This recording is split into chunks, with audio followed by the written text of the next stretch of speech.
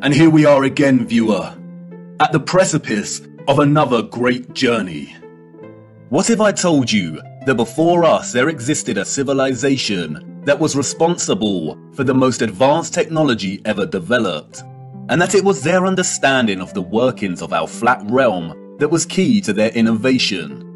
And what if I told you that it is highly likely that our true history as a people only begun just over 200 years ago? Would you think of me as mad once again?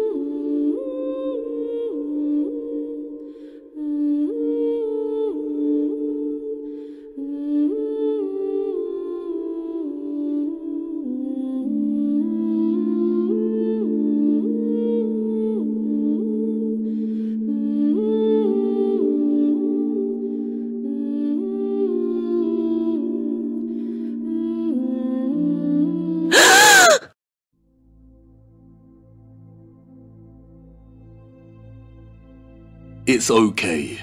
You're okay. You're awake now. You were having a nightmare. We crashed en route to Siberia. We were attacked and went down. I thought I'd lost you for a minute. I have no idea where we are. An unknown coastline somewhere. And this is going to take some time to repair. I have been working on it ever since. But as the sun departs and darkness comes, now is the time for rest. We cannot waste time, but now we're forced to.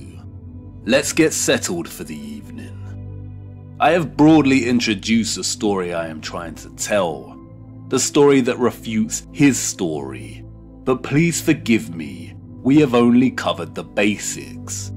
Which means that up until this point, our investigation into our lost history has been lacking nuance. I need to draw out the complexities for you. And this means there will be some unexpected developments and turns in the plot of our story. I really hope you don't mind, viewer, but as we move forward, we will also need to revisit topics, such as the old structures and the mud. I must admit, our journey is going to be a long one. But now look at us, forced into limbo on this unknown shoreline, a temporary purgatory. This is a good time to tell you a story. The Great Flood, or the Great Deluge, is a story that looms on the historical horizon of so many cultures. The story of Noah is perhaps the most famous, but there are many forms of this story. We have the Noah that appears in the Quran. We have the Hindu legend of Manu. We have the Mesopotamian myths of Gilgamesh and Sumerian creation. We have the ancient Greek story of Deucalion. In fact, there is such an abundance of different renditions of the Great Flood that listing them would be a great waste of time. But it's useful to note because a multitude of similar, so called myths, all describing a mass flood event like this, do not just appear out of nowhere. Compiling your very own flood myth was not a rite of passage for each individual culture. This event obviously took place at some point in our history, and so many of the narratives share the similar premise. God, or the gods, are unhappy with humans. One human is warned and instructed to build a vessel to survive, while the rest perish in the waters. Whether these different renditions were constructed deliberately to hide the truth, or whether they formed in a more organic manner, I cannot say, but they all provide a clear indication of the what a great worldwide flood that eradicated and reset life on Earth. What they do not provide, however, is a clear indication of the why. Why did this happen? Apart from one of these texts, if read closely and correctly, and lucky for us, this text is one of the greatest pieces of literature ever written. You hear me speak of God often, the creator of the realm, and it no doubt raises the question if God is real, then why are there resets in the first place? From the moment we develop our capabilities to learn, we are prescribed a prism, a small cocoon, if you will, that takes hold deep within our minds and begins to grow. It is nourished and fed by the mandated education system imposed upon us and reinforced by the social circles we keep. By the time we enter adulthood, more often than not, the shell of the cocoon will have fully broken and the opportunistic wings of the creature inside emerge and begin to wrap around and smother our minds. We are trained to see reality in a certain way, and more often than not, the perception produced by this prism is not correct and filters our experience and understanding of the world into a type of disreality. It's a very strong prism, and many never escape its grip. And this can have serious consequences. In some way or another, we are all sheep, but it's our choice of shepherd that defines our path. Actions have consequences, and it is always a tragic affair when we are forced to learn lessons just a little too late.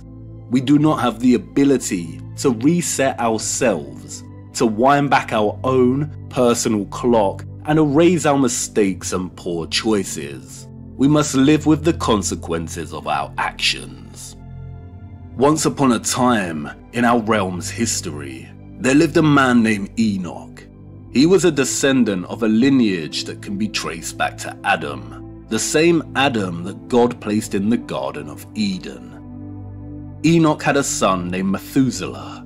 Enoch, we are told, was a righteous man and walked with God. His son Methuselah had his own son named Lamech, and Lamech fathered a very interesting man named Noah. We have all heard of the Great Flood, in which Noah survived he built an ark. He laboured on this ark for a long time and warned others of a coming flood, who, in their stubborn arrogance, shunned and ignored his warnings.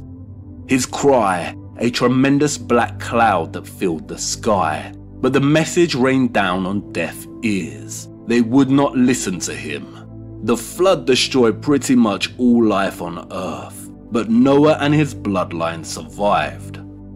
And it's in discussions of the event known as the Great Flood that we inevitably come up against the workings of the prism holding so many people's minds hostage. Many will dismiss a reset of such a cataclysmic scale as nothing more than mere mythology. It's just too unfathomable to comprehend.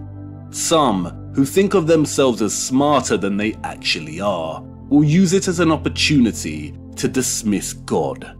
If God is good, why would he choose to destroy all of humanity? They will huff, puff, and scoff, and conclude that no, scriptural accounts of history are not rooted in any kind of fact, but a fiction dreamt up to control and scare the masses into obedience. Not only is this incorrect, but it reveals a deep seated ignorance in the person that is not entirely their fault. They are missing an understanding of the events that we are told were responsible for causing the flood in the first place. One of the best kept theological secrets is that the Bible used and distributed by the modern church is not the original Bible. Up until the late 19th century, or what is better termed the concluding stages of the Great Reset, the King James Bible came with additional books, collected and referred to as the Apocrypha. and these were officially purged from the English printings of the King James Bible in 1885. But the purging of books from the Bible began a long time before 1885. And while I do not think the actual events took place in a way they tell us, or at the time they tell us it happened, a quick summary paints the picture well. Christianity and Scripture fell victim and into the hands of the Roman Empire around the 4th century, we are told. Under Emperor Constantine, Christianity was fused with many of the pagan practices of Rome. Under his reign, the empire formed a strong alliance with the church. The laws and policies of the empire and the doctrine of the church became a synonymous entity. Through a series of councils, Constantine, his peers, and successors successfully began thwarting and eliminating whatever did not fit in with their vision. They began institutionalizing beliefs and practices that did not exist before, but which have remained a cornerstone in the teaching of the church today. And despite what some historians claim, this would have brought on an inevitable process of distortion and redaction of scripture itself. There are hundreds of books missing from the original collection known as the Bible, some have suggested that originally the Bible contained well over 500 books. It now contains 66, their favourite number, a very important number.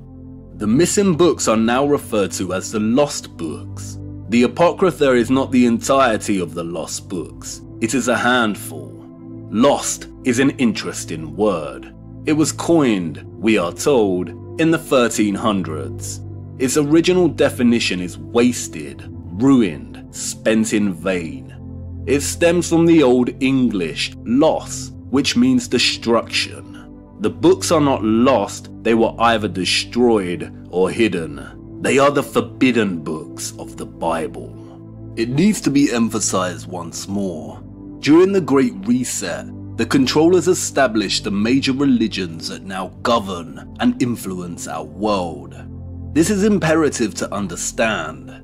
It does not mean that people did not worship God before, or that the scriptures are entirely illegitimate. It means they have thwarted our historical ancestors' understanding of our world and God. It means they have redacted huge portions of text, hidden entire books, and used religious organizations to manipulate and yoke together practices that did not exist before an example of which is Sunday worship.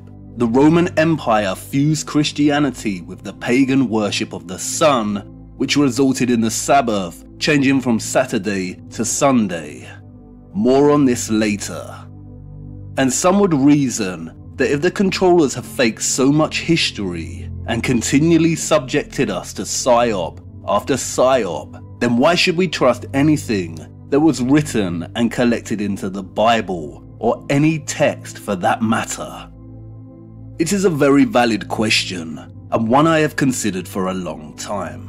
It's almost impossible to discern what is a genuine historical artifact and what is fraudulent, and they have been caught faking artifacts over and over again. We only have our eyes, so what do we see? We see the controllers and their puppets again and again trying to steer people away from the scriptures. To pollute the minds of the young and convince millions that they are nothing more than a mythological collection of stories wrought together by our ancient and primitive ancestors who were trying to make sense of the world around them. If the scriptures were a fraudulent fiction, why the effort to prevent people from considering them? And why do we see with our own eyes, again and again, Masons and other controller puppets refusing to swear on the Bible? Why don't you swear in the Bible that you walked on the moon? You're the one who said you walked on the moon when you didn't. Calling the kettle black, if you ever thought of it. Saying I misrepresented away from me. You're a coward and a liar and a thief. Why wouldn't the astronauts, who have lied to the world over and over again, and participated in one of the greatest lies of all time, not just commit another dishonest act and place their dirty hands on the Bible and swear that they landed on the moon. They won't do it, which is strange. Do they fear this act more than lying about their little journey into the great fiction of space? Are there consequences that come with placing your hand on a text like this and taking an oath? And then there is the almost mind boggling presence and prevalence of demon worship that has spread throughout our world and that stems from those in high places. And it is mind boggling, especially if you are asleep and see the world through your prescribed prism. Are they just insane? Are they just being edgy? Maybe it's all just a coincidence. But those awake see a little more clearly. It is not mind boggling, it all makes sense. The controllers do not want people turning to God or going near the scriptures with serious intentions, and they've hidden many texts to stop people finding out the truth. But God works in mysterious ways, and there do exist many fragments, some much more comprehensive than others, of these lost books. Some were discovered during and after the Great Reset and have been made accessible the controllers love control, but they do not have full control. They also adore hiding things in plain sight. To hide something in plain sight, even if it goes unnoticed by the recipient, is akin to receiving informed consent, and this is very important. And I understand that many will not consider anything outside of the established canonical King James selection as potentially legitimate. But again, this is another prism, and it has kept many rooted in not coming closer to the truth. In this sense, the Reformation, or the great redaction of Scripture, has been a success, but I also understand the hesitancy regarding extra scriptural texts or forgotten fragments, and the susceptibility for these to be fraudulent or forgeries. And that's why it is necessary to cross reference these texts with the books contained within the canonical Bible. It is also important to cross reference them with other religious texts and historical accounts. So, what could have happened to have caused a major worldwide flood, which eradicated pretty much all of humanity? If the skeptics knew, then perhaps they would not be so dismissive.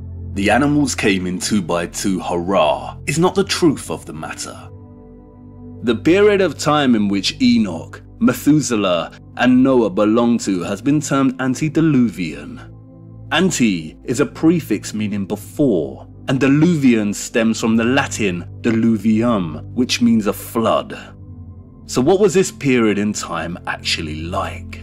Chapter 6 of Genesis offers a very succinct summary. And it came to pass, when men began to multiply on the face of the earth, and daughters were born unto them. That the sons of God saw the daughters of men, that they were fair, and they took them wives of all which they chose. There were giants in the earth in those days, and also after that, when the sons of God came in unto the daughters of men, and they bare children to them. The same became mighty men, which were of old, men of renown. And God saw that the wickedness of man was great in the earth, and that every imagination of the thoughts of his heart was only evil continually. And it repented the Lord that he had made man on the earth, and it grieved him at his heart. And the Lord said, I will destroy man, whom I have created from the face of the earth, both man and beast, and the creeping thing, and the fowls of the air. For it repenteth me that I have made them. And God looked upon the earth, and behold, it was corrupt, for all flesh had corrupted his way upon the earth. And God said unto Noah, The end of all flesh is come before me, for the earth is filled with violence through them, and behold, I will destroy them with the earth. The verses found within Genesis chapter 6 are truly some of the most fascinating in the entire Bible. And again, that number, chapter 6. The passage is fascinating for many reasons, but primarily because 1. it summarizes an entire historical epoch very briefly. We hear about the sons of God and giants being born, and then the narrative moves on swiftly. And two, because we are told that God was unhappy with the state of humanity and decided to destroy and reset the earth. Everything you need to know is contained within this chapter, but the prism, implanted in our minds from a very young age, will only process what it allows us to see. The mention of non humans, or the sons of God, the mention of giants, and the destruction of the earth. The prism processes this information for the individual, and they conclude ah, a mythological story. The animals came in two by two, hurrah.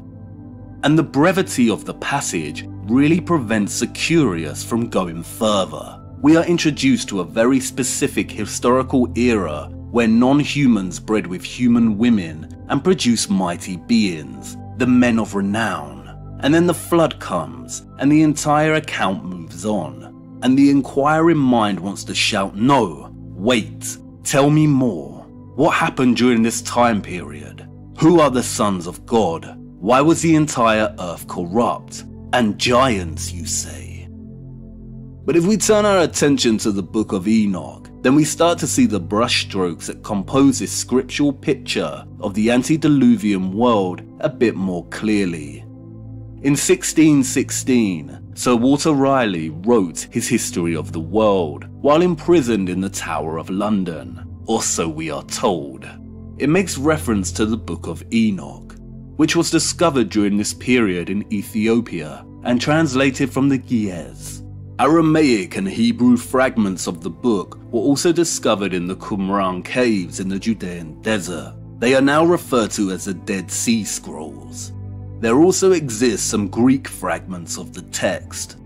And the text is a very important one because, whether divinely inspired or not, or whether it's just another Masonic half truth kind of text, it provides much insight into the antediluvian period that Genesis references and expands on the necessity of the flood. It also provides insight into the workings of the luminaries and the prophetic millennial reign of the coming Messiah.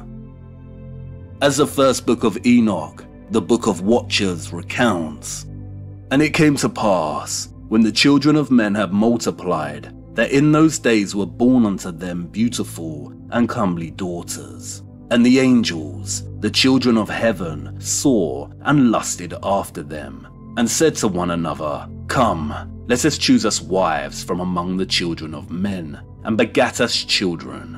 And Semjaza, who was their leader, said unto them, I fear ye will not indeed agree to do this deed, and I alone shall have to pay the penalty of a great sin. And they all answered him and said, Let us swear an oath, and all bind ourselves by mutual imprecations, not to abandon this plan, but to do this thing. They descended on the children of men and took wives, and they began to go in unto them, and to defile themselves with them. And they became pregnant, and they bare great giants, whose height was three thousand ells, who consumed all the acquisitions of men. And when men could no longer sustain them, the giants turned against them and devoured mankind. And they began to sin against birds and beasts and reptiles and fish, and to devour one another's flesh and drink the blood. As you can see, the passages recounting the birth of giants, or what have subsequently come to be known as a Nephilim, are very similar to Genesis 6. Interestingly, it is also chapter 6 of Enoch that begins its account of the interbreeding between the children of heaven and the children of men, and the resulting birth of giants. We will return to the importance of this number soon. But the Book of Enoch provides just a little more insight than Genesis. Here we see a faction of beings from the heavenly realm, or what are referred to as angels, swearing an oath to commit genetic miscegenation. Genetic miscegenation is the interbreeding between species. And my use of the term here strictly refers to just that the mixing of genetics between different species, i.e., humans with animals and other beings such as an angel. And it is here that the prism will inevitably stir once again. When we hear the word angel, our prism immediately produces an image like this. This is carefully wrought programming that has been installed in the reader since a very young age, propagated by religious institutions, national holidays, and other cultural mediums. No one truly knows what an angelic being looks like, and the notion of another realm, a heavenly realm, sounds just as absurd as an angelic being. But this does not mean there is not any truth in these words. The angels are led by a specific angel called Semjaza, the Book of Enoch lists over 18 of these angelic leaders and calls them the chiefs of tens. And the text informs us that over 200 of these beings descended with the intention of committing genetic miscegenation. And the manner this is conducted far exceeds the mere enticement of lust. These are not the actions of those desiring human women, but the execution of a well organized plan devised with an almost military like hierarchy of leaders. They must take an oath because they know once their plan is in action, there is no return. Actions have consequences. And Enoch knew this all too well. In the Book of Visions, he has a nightmare of what's to come. I raised mine eyes towards heaven and saw a lofty roof with seven water torrents thereon, and those torrents flowed with much water into an enclosure. And as I looked at the height of that water, that water had risen above the height of that enclosure and was streaming over that enclosure. What is clear from both Genesis and the book of Enoch is that these angelic beings, one, do not have the same genetics as humans, two, they descended from another realm, what is referred to as the heavenly realm. And three, they were responsible for corrupting human genetics, and the result was the birth of enormous hybrid giants.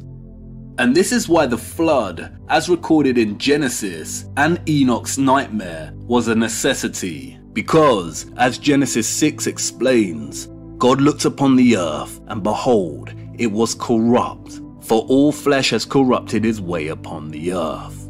The birth of genetic hybrid giants, or the Nephilim, was not the only act of genetic miscegenation that took place upon the earth. As both Genesis and Enoch makes clear, the hybrid Nephilim began to sin against all life on earth, including birds and beasts and reptiles and fish.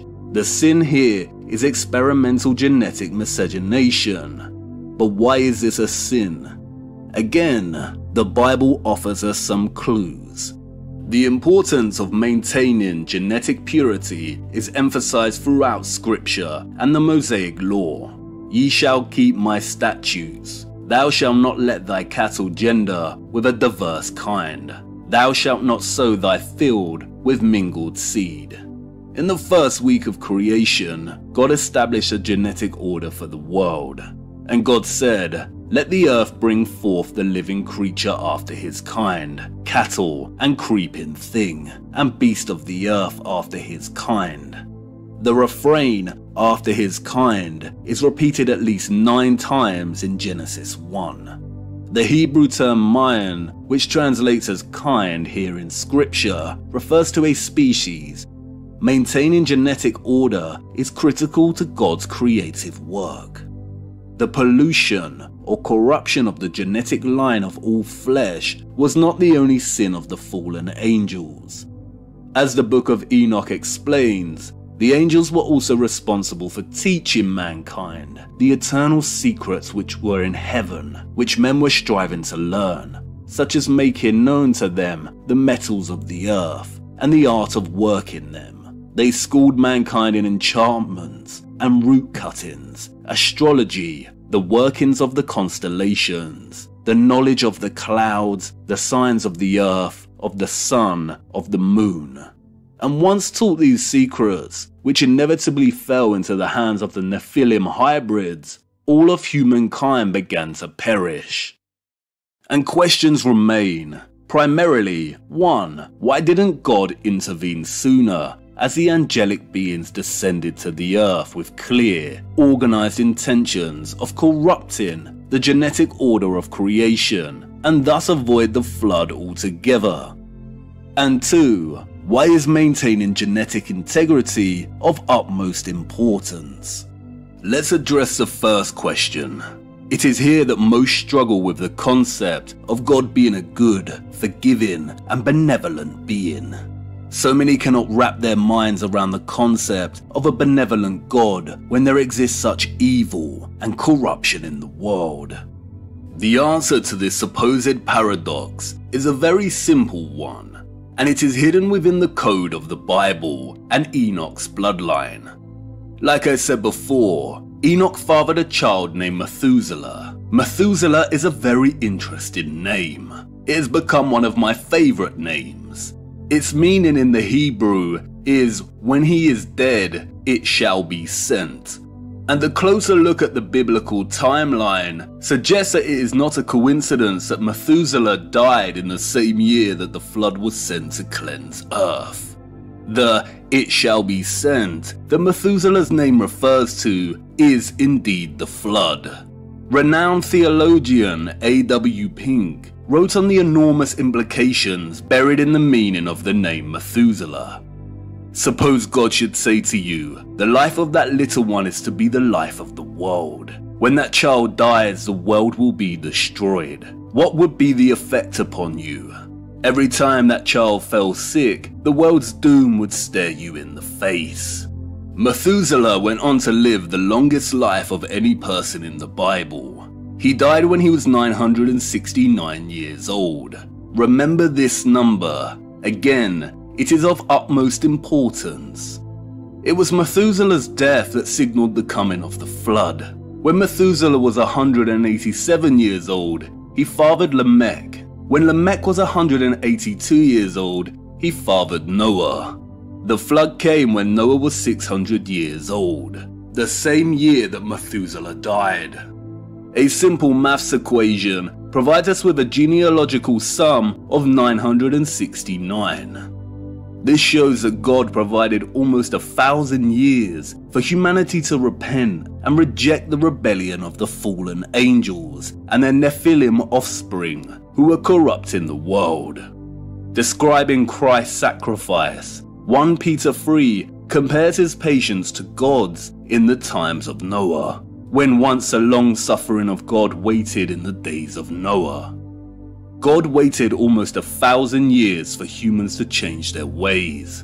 My spirit shall not always strive with man meant that God would give humanity sufficient time, but not unlimited time. And of course, humans did not repent and change. And the skeptical intellect, whose mind is bloated and heavy from holding so much nonsense, will scoff again and say, But surely if God is benevolent and all powerful, then he would have intervened. Why wait in the first place? No. What really legitimizes the existence of both good and evil is free will. The existence of free will, the ability of humans to make a choice and bear the consequences, is what makes us free. It is true liberty. If God, our Creator, intervened and controlled the outcome, then we would not have autonomy. Any creator that restricts the freedom of choice, despite their intentions, is by default a dictator. Furthermore, in a world where evil is prevalent and the choice to follow or be influenced by such evil lies with the autonomous being, then any intervention before it is truly necessary would be an act that legitimizes evil and places its power status above its counterpart of goodness. To follow the right or wrong path is a choice and must be chosen by the individual. Scripture informs us that Noah was a just man and perfect in his generations, and Noah walked with God. Noah was perfect in his generations because he chose not to succumb to the practices of his peers and follow the path of genetic miscegenation that was being carried out on earth under the leadership of the hybrid Nephilim offspring of the fallen angels. Noah was not without sin, but he walked with God, or in other words, the Lord was his shepherd, and he followed his lead and resisted the false leadership that would eventually lead to the corruption of his genetics. Maintaining genetic integrity, we are told, is an essential component of righteousness. Why? First and foremost is that it obeys God's ordained genealogical hierarchy. We were not created to fuse our genetics with those of other species, and the importance of this becomes evident when we consider the angelic beings, the sons of God. We are told that they descended from another realm, the heavenly realm. Their genetics are fundamentally different from human genetics.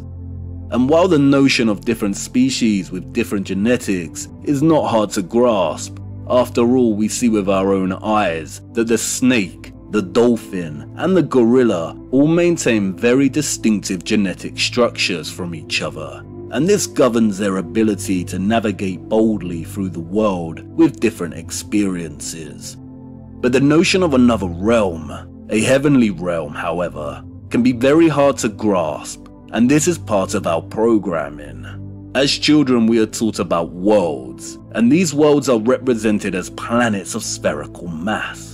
But what is interesting is that we are not provided with an alternative world to Earth, where there is an abundance of life present, and that exists and thrives within different biological, chemical, geological, and atmospheric conditions.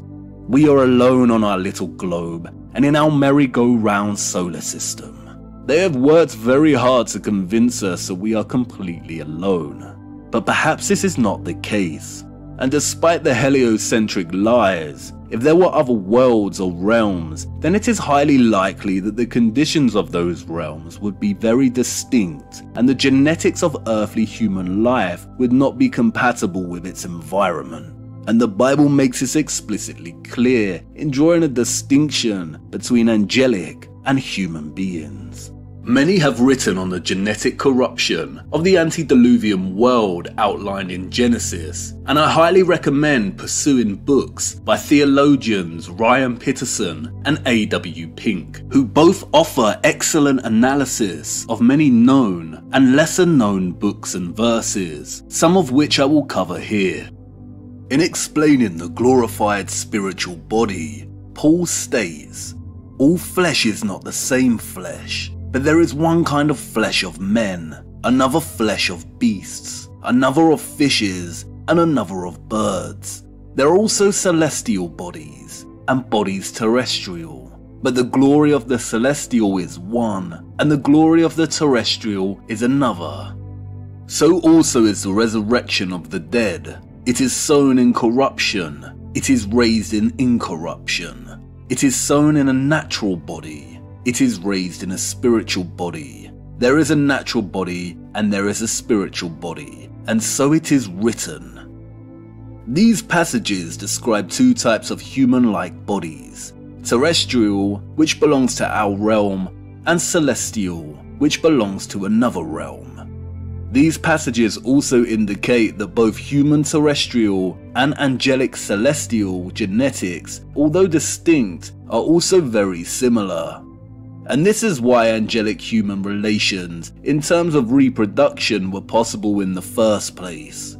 As the passage also states, God gives it a body as it hath pleased him, and to every seed his own body. Indicating that angelic beings can indeed reproduce. And as Psalm 78 states, and it had rained down manna upon them to eat, and had given them of the corn of heaven. Man did eat angels' food. He sent them meat to the full. We see here that humans are able to eat the same food that angels can eat. In Daniel 8, the prophet encounters the angel Gabriel face to face and describes him as having the appearance of a man. The scriptures have always been very clear in the genetic similarities of both angelic and human beings, The key difference being that the human being is of the earth, i.e., is limited to the earth, can decay and die, and the angel is not. My point here is not to argue that the distinction between celestial and terrestrial bodies is the truth. There is, after all, no evidence that celestial bodies exist. My point is to demonstrate that the Bible contains a wealth of information regarding genetics and places genetic corruption as the primary driver behind the Great Flood reset. And this is what is often severely overlooked when it comes to the flood.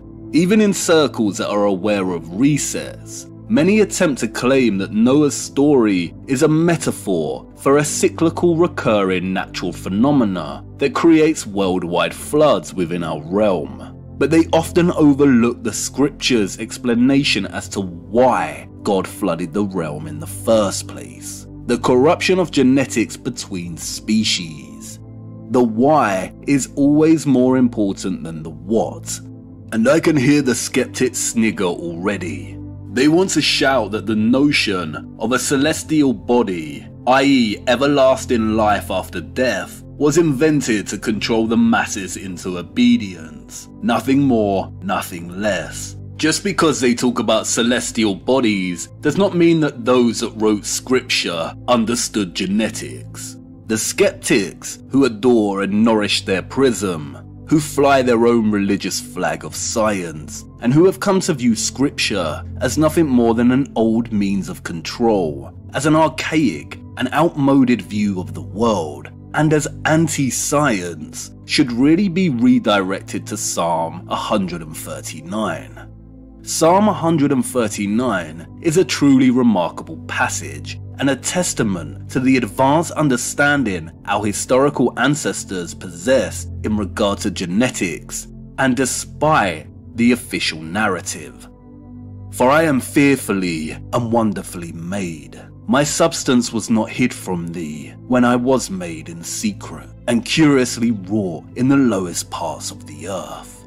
Thine eyes did see my substance, yet being unperfect, and in thy book all my members were written, which in continuance were fashioned, when as yet there were none of them. Psalm 139 displays David's marvel at God's power to create human life just as Corinthians states that being sown in a natural body and raised in a celestial body is written, David here acknowledges that before he was sown or born, all his members were written in God's book.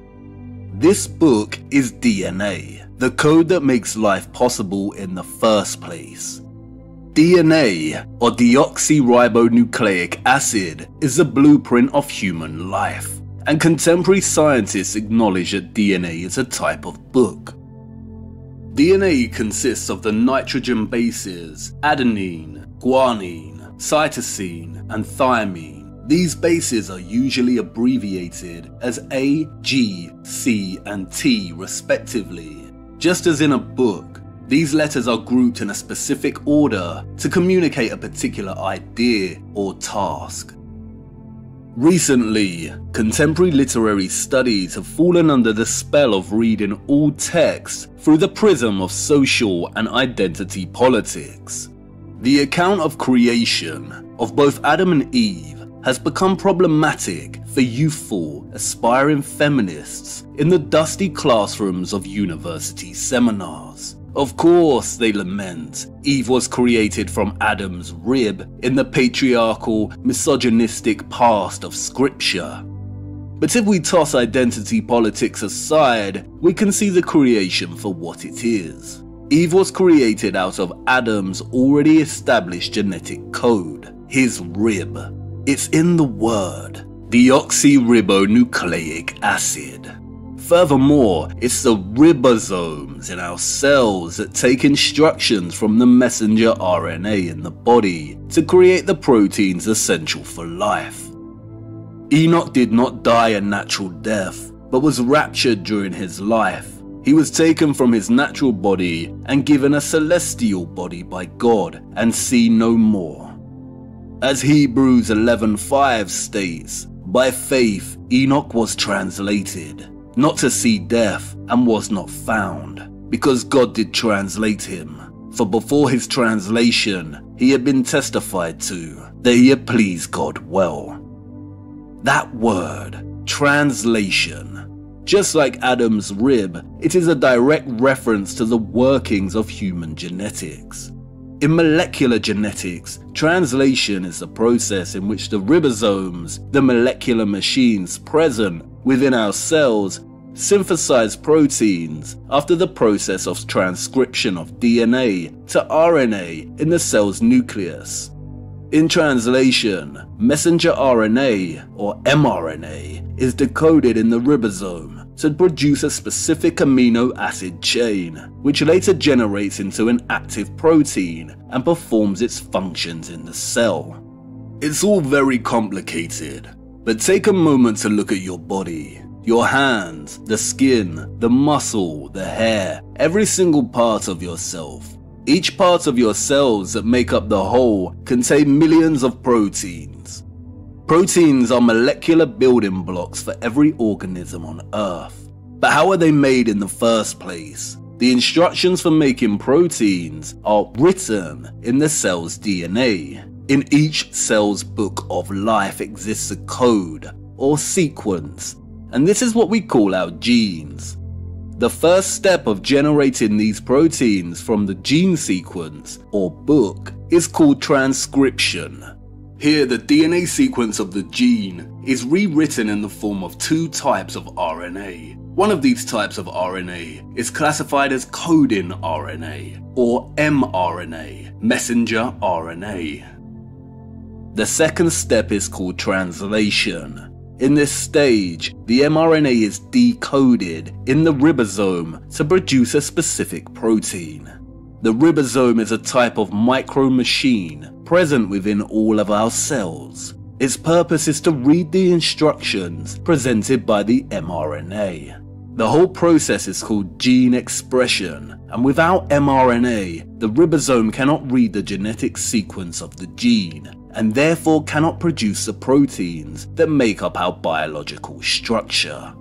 With this in mind, we can return to the scriptural context of Enoch's translation and David's marvel at God's book.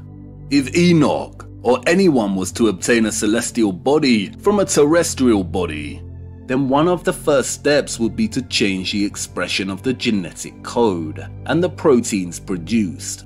And this can only be produced with the right kind of transcription and translation process. I, th- I think there's going to be a lot of breakthroughs on the medical front, uh, particularly around synthetic uh, mRNA. Uh, you can basically do anything with uh, synthetic uh, RNA, DNA. Um, it's, it's like a computer program. So, I mean, I think with enough, with with uh, with effort, that's not too crazy. You could probably stop aging, reverse it if you want. Um, these are you can basically do it. You can turn someone into a freaking butterfly if you want with the right DNA sequence. It could be that Enoch and others raised in a celestial body are resurrected with entirely new genetic DNA. Or it could be a case that the matter of DNA, which we have been programmed to view as a double helix, is actually a lot more complex and perhaps already contains this information, but we lack the specific mRNA translation function to read the specific code and produce the proteins that could transform our bodies from terrestrial to celestial. Either way, the scriptural refrain, it is written, is not to be taken lightly. It is written in our genes, and perhaps this is why genetic miscegenation or genetic misappropriation is a sin, because it not only corrupts our Creator's ordained structure of life, but potentially interferes with the process of translation. Perhaps this realm and all human life was created as a testing ground, a transitory phase before gaining access to the celestial realm or other subsequent realms. Who knows? Again, my point here is not to argue that the Bible's distinction between celestial and terrestrial bodies is the truth. How would I know? But to demonstrate that the Bible contains a wealth of information on genetics and places genetic corruption as the primary driver behind the Great Flood reset.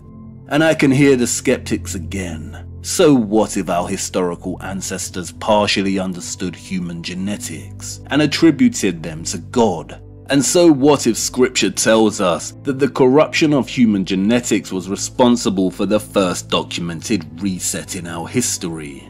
It's just a book written by humans. It doesn't mean it is the truth.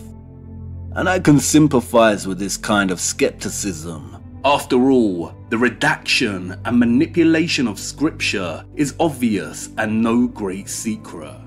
The problem we are left with, however, is what portions of the text have been changed. How can we rely on these words? And, after all, it is no coincidence that the very same King James, who was responsible for sponsoring the translation of the Bible, also wrote a dissertation on demonology which leaves the inquisitive mind with many suspicions.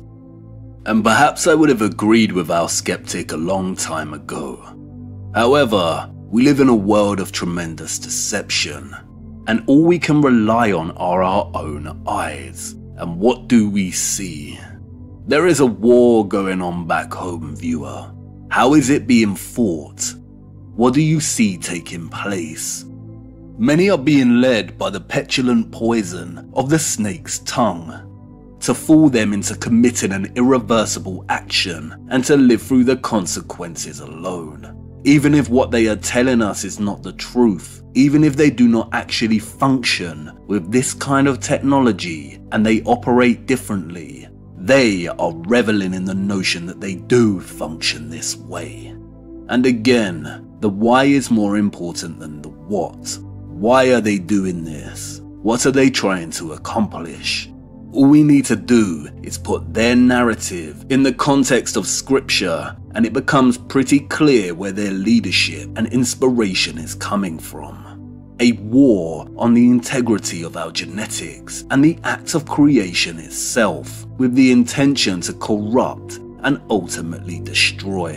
An outright attack on God's book and while they have redacted so much of scripture, it would also be naive to assume they would not leave things hiding in plain sight. It is not like the account of genetic miscegenation and the subsequent Great Flood is comprehensive. It is a small, elusive chapter, and they have worked hard to mythologize it ever since, to Disneyfy it. And if you apply common sense and logical thinking, then the mere existence of the sophisticated and almost machine like complexity of genetic sequencing and expression in and of itself destabilizes the notion of evolution. It is absurd to believe that the precision of our genetics evolved so sophisticatedly over time that through trial and error, the result was a process in which allowed DNA to be transcripted into RNA and produce mRNA, which contains codons, or a code that can be edited and read by the ribosome, the molecular machine found within all of our cells, and through the act of reading this code produces the proteins necessary for life. No, the most simple answer is that we have a creator, someone or something wrote the code, wrote the book of life. It is written. And it's not difficult to see why many end up pertaining to the perspective that reality, our existence and experience within this realm is akin to a computer simulation. After all, our very own genetics function like very sophisticated computer programming and coding. And after all, mathematics, the clockwork of our realm, and the sacred geometry underpinning its core energetics lies behind everything. But an important distinction must be made. A computer simulation is man-made. It is primitive and the result of the artificial intelligence that we ourselves have created. God is not akin to artificial intelligence. God is authentic intelligence. There is not a single imitation in our realm that has come close to producing such an outstanding form of simulation. And perhaps that's why they attack God and his book of life so fervently. The enemy is jealous and suffering a type of inferiority complex. When one has aspirations to be great, to be like the Most High, of course a natural type of envy will arise in that individual, especially if their ambitions are to create a realm of artificial intelligence, a simulation they have full control over, and their opponent is an authentic intelligence of the most sublime standard. And if such an individual allows themselves to be consumed by their envy, then of course, a monomaniacal obsession to destroy and corrupt their opponent's creation will arise within them. And it's here that their favorite number needs discussing. 666, or the Mark of the Beast, really, in essence, relates to a species' propensity to play the creator, to play God, it is actually more appropriate to call this sequence of sixes the Prometheus Code. In ancient Greek mythology, Prometheus is credited with the creation of humanity from clay, and of defying the gods by stealing fire and giving it to humanity. During the concluding stages of the Great Reset in the 19th century, Prometheus became regarded as a figure who represented human striving, particularly the quest for scientific knowledge and the risk of overreaching or unintended consequences. In particular, he was regarded as embodying the lone genius whose efforts to improve human existence could only result in tragedy. On some level or another, everything in existence creates. All species procreate we are creative beings, producing artistic expressions and interpretations of our experience of reality. We create homes, gardens, transportation, businesses, and so on. And perhaps this is the true meaning of the phrase, God made man in his image. We are supposed to create and revel in the often paradoxical joy and pain of such an act but only within the perimeter of God's ordained order.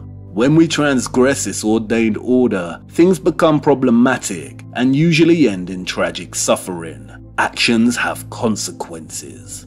If God's creation accumulated and finished with the number 7 on the seventh day, then 6 falls short by 1. It is incomplete it is a number not necessarily of a specific man, but of man itself, of man's attempts to play God but falling short, of not possessing the divine conclusion and finale of seven.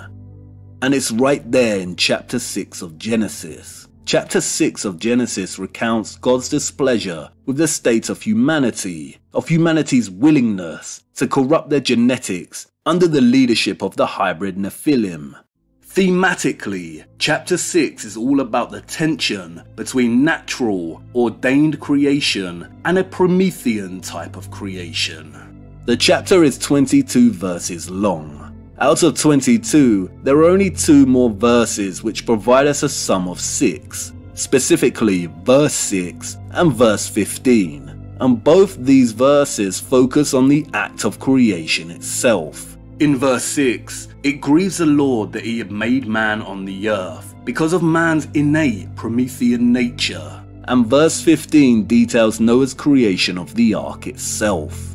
And interestingly, the flood was sent when Methuselah died at the age of 969. Again, it's right there in the number. The two nines are inverted sixes, the inversion here breaks the Prometheus code of 666. It was the flood that broke and inverted the Promethean state of humanity. The Prometheus code signals an aspiration to subvert and pervert God's natural order of creation. It has subsequently become associated with the devil, but its true signaling is satanic if we are to understand Satan through the Hebrew root of the word which means adversary. It is in opposition to God's order. The Prometheus Code, or Mark of the Beast, doesn't just refer to a particular event in which people could not buy or sell without having a specific mark on them. It refers to the entire beast system of distorted and corrupted reality that we are born into and remain in until we die. And this is really what's at heart when we see reference to the Prometheus Code. When the controllers and their puppets integrate this sequence of sixes into their narrative and lies, it is a deliberate hiding in plain sight, their own little sick joke, and their own way of telling us and gaining informed consent. They want us to subconsciously accept their efforts of playing God, to blindly accept their beast system. They unashamedly want us to know where their inspiration is coming from, that they are playing the architect of our perceived reality. If the Bible contains 66 books, then it means at some point they played the creator and removed the other books. And they make it obvious for us, because they try to play a fair game of good versus evil. If they didn't have their own way of telling us and giving us a choice to know, a choice to accept or reject, if they just imposed it upon us, then what are they? Dictators. Parading their code in plain sight is their cowardly idea of playing fairly. And if we are too lazy to investigate things properly ourselves and learn the history outlined in scripture, then more fool us. And this coded sequence is so prevalent, so interwoven into the very fabric of the matrix that governs our perception of reality that to dismiss it as mere coincidence is naive. It is the mathematical sequence underlying the prism lodged firmly in our minds. For example, in the heliocentric model, Earth's average orbital speed around the Sun is 66,616 miles per hour. Earth's axial tilt measures at 23.4 degrees, which leaves us with a remaining 66.6 degrees. The Arctic and Antarctic circles are located at 66 degrees north and south of the equator respectively. Mercury has been classified as the 66th most abundant metal on Earth. Carbon has an atomic number of 6 and carbon 12 has 6 electrons, 6 protons, and 6 neutrons. There are 60 seconds in a minute, 60 minutes in an hour, and 24 hours in a day. 2 plus 4 is 6. The tropic lines of latitude are drifting at a rate of 15 meters per year. At this rate, it takes 66.66 years to move a kilometer on the Earth.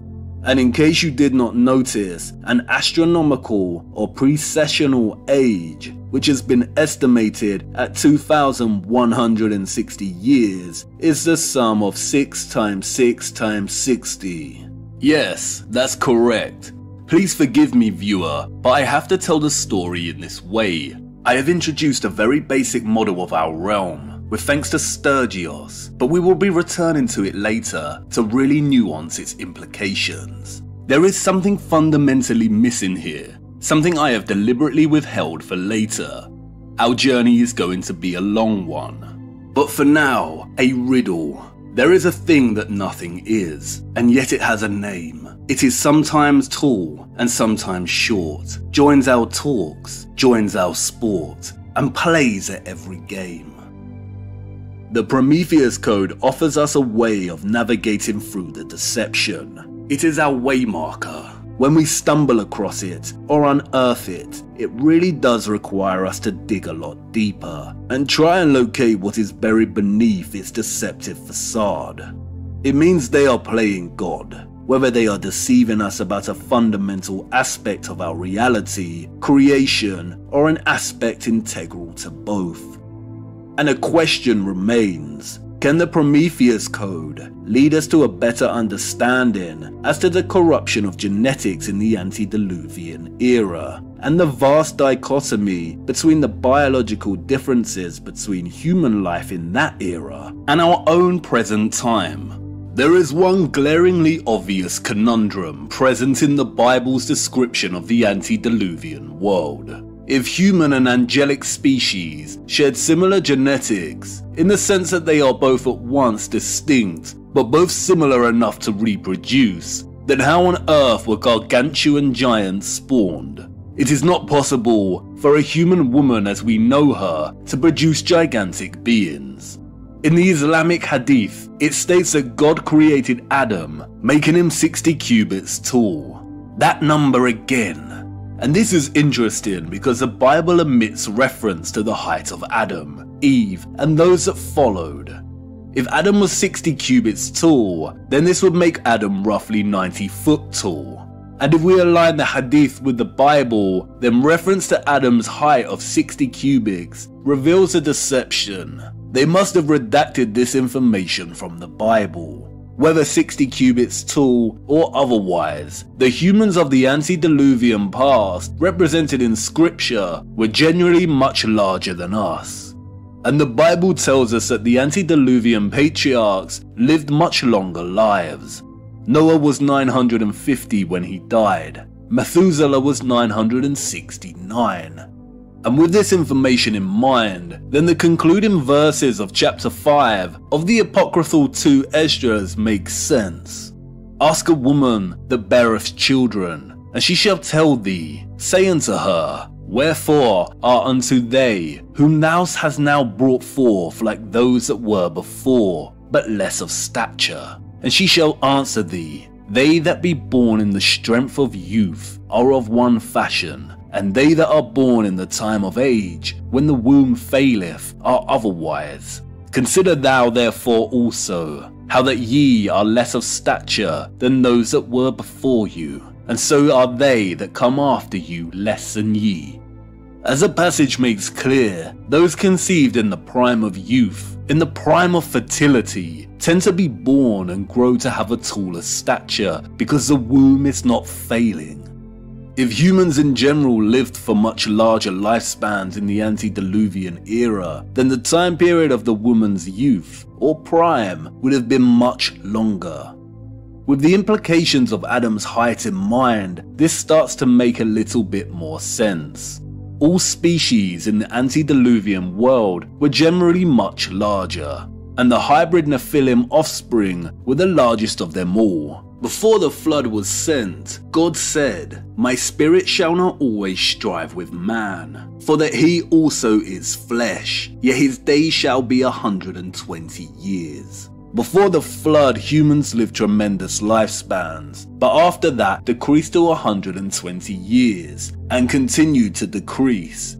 Something changed in the Earth's atmosphere that meant that humans would not live as long or grow as high.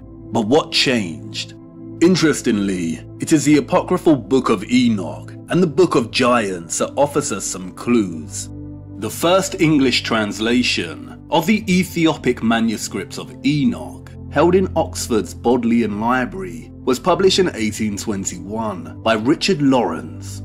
Curiously, Lawrence's translation was swiftly superseded by his own further translations and other editions due to the discovery of better texts and the employment of better critical methods, we are told. I have read many translations of the Ethiopic text, and there is one glaringly obvious difference between them and Lawrence's original translation, and it's located in chapter 66. That number again.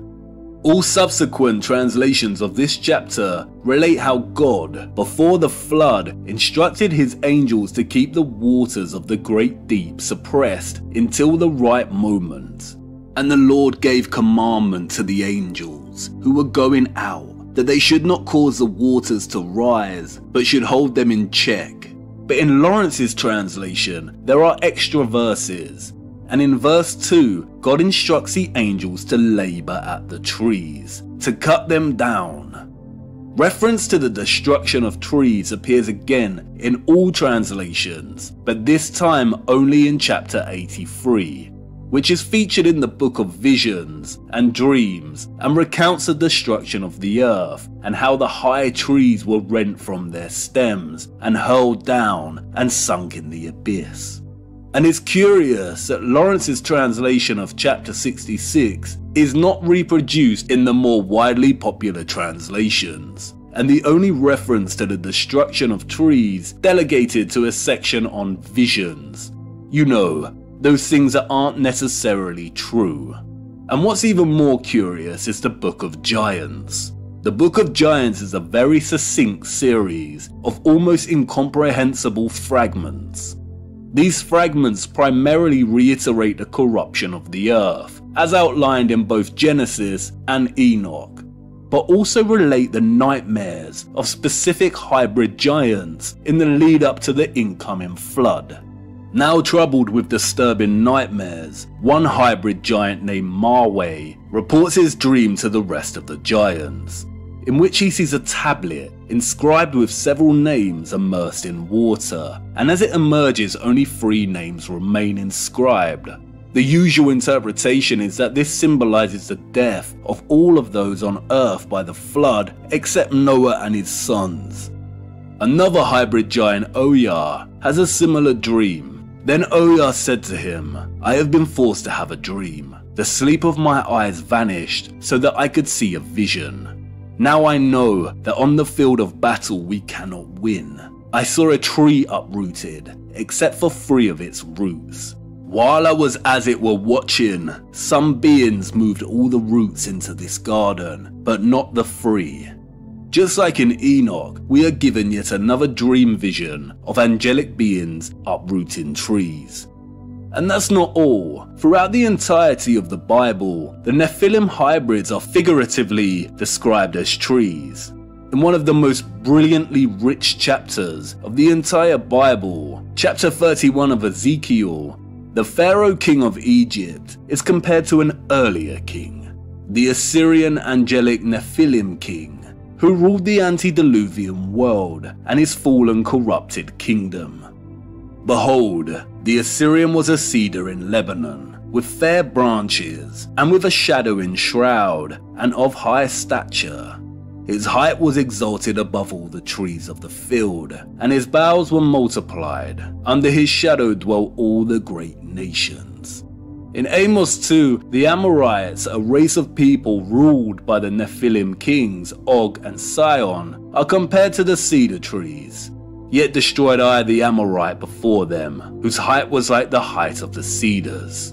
And so what? We are, after all, reading literature, and writers employ figurative language, simile, and metaphor at their will to tell their tale. But we are not dealing with ordinary literature here. The Bible is one of the most magnificent, cryptic, profound pieces of writing in existence, and it is because of its utter power that it has been redacted and edited. Would the controllers, who deal in deception, really hand us over historical accounts neatly intact for us to learn the truth? And like I said before, it does not mean that there is not an abundance of truth within scripture, it just means we need to work harder to draw it to the surface. It's almost as if the Bible silently beckons us to decipher the truth hidden within its tangled tapestry of rich, figurative language. Returning to Ezekiel 31, the account of the Assyrian king continues. We come to learn that the antediluvian Nephilim king breached the Garden of Eden and assumed control. Ezekiel 31 contains the most references to the garden than any other chapter in the Bible. When humans were banished from Eden, the apostate angels occupied the garden, and one of those apostate fallen angels, termed here as the Assyrian, ruled the earth from this location. The cedars in the garden of God, i.e., the other Nephilim giants in Eden, could not hide him and could not control him, so he was cut down. Thus saith the Lord, in the day when he went down to the grave, I caused a mourning. I covered the deep for him, and I restrained the floods thereof, and the great waters were stayed, and I caused Lebanon to mourn for him, and all of the trees of the field fainted for him.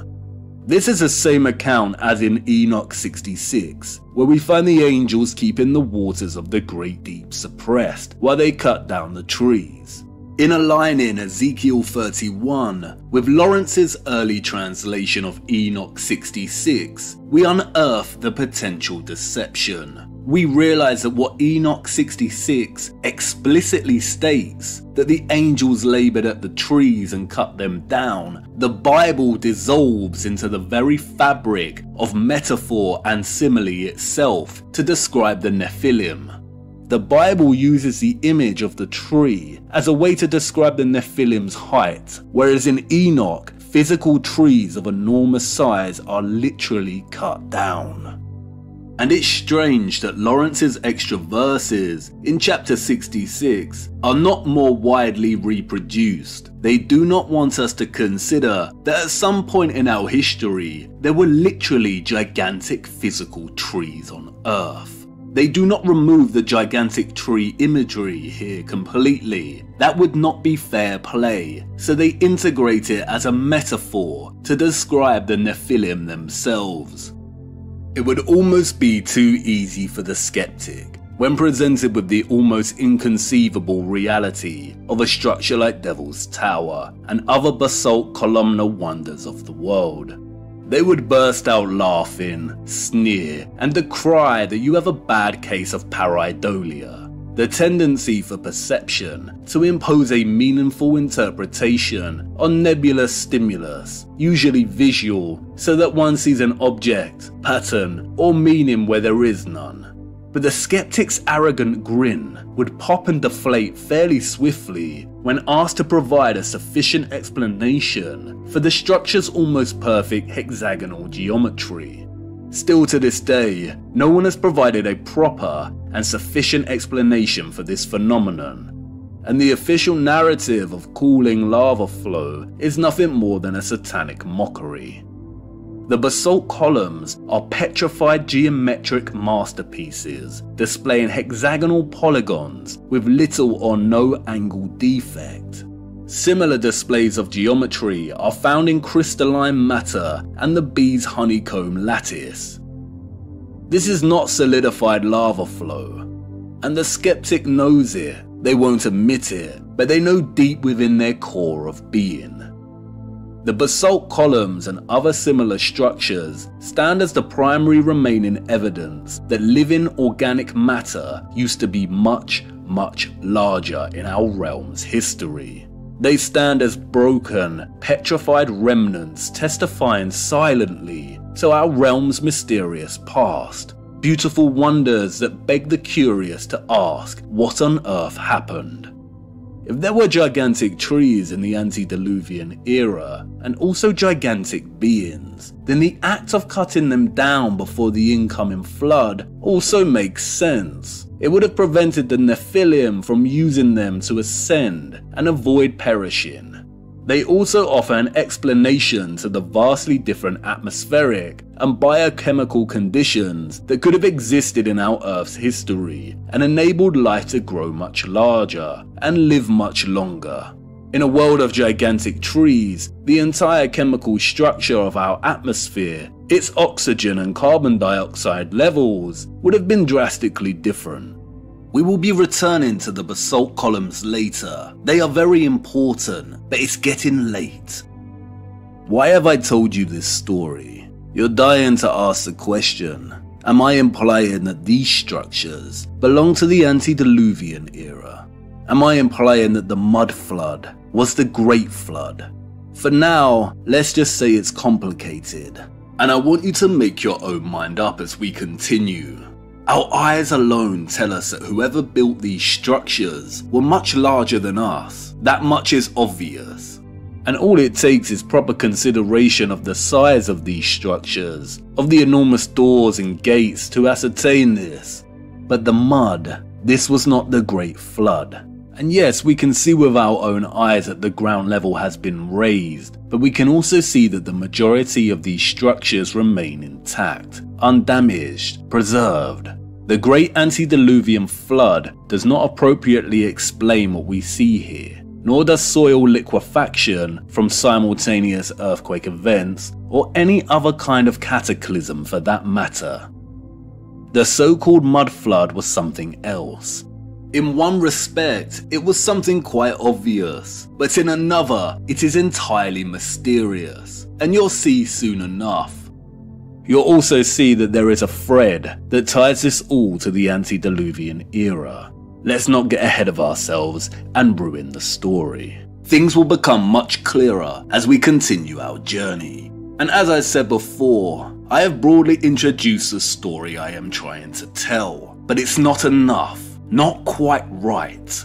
And I hope you forgive me, but I had to introduce a story this way to paint the picture in your mind before I tear it all down and bring us a little closer to a more solid understanding of our lost history.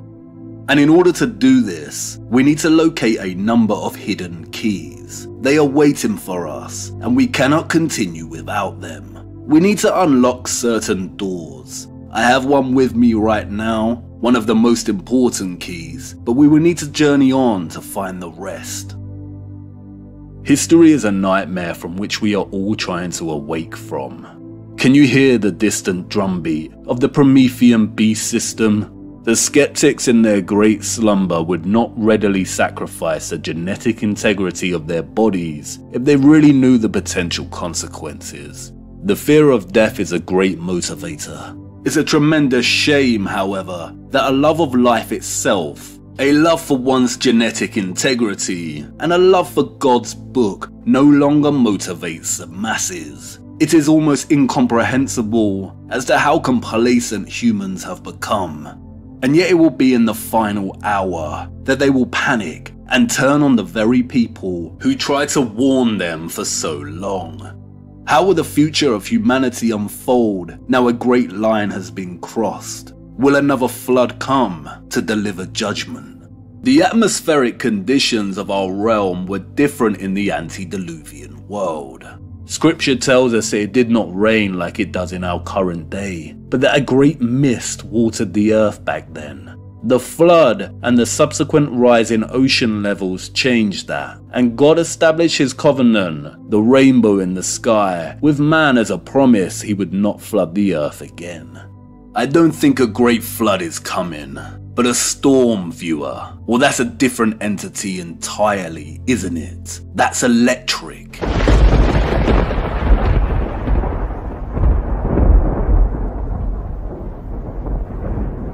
I've kept you for too long. Rest now, and I will continue working to get us back on track. Wait, what's wrong? I can see that you're troubled. Something is bothering you. Ah, you want to tell me about the nightmare you were having. I know what you saw. You saw the asylums and great fire. Let's hope it was just a dream and not a premonition. Rest now. Keep pondering everything. If I haven't fixed this thing by the time you awaken, then we will discuss the first key. Unlocking the first door will be a complex task, but once we've done it, your entire understanding of our lost history will begin to change.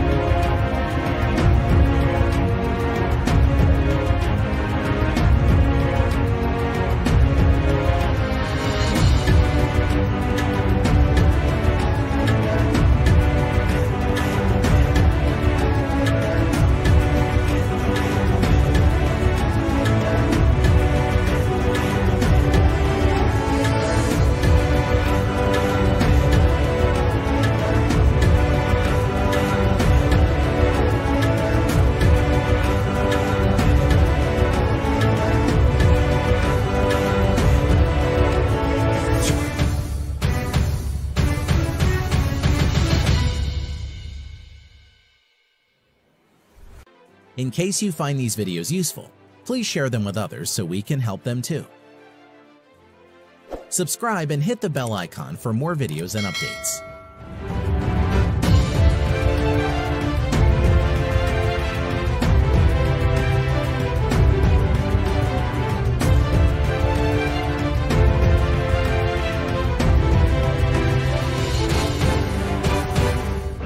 Thank you very much for watching. See you next time. Peace.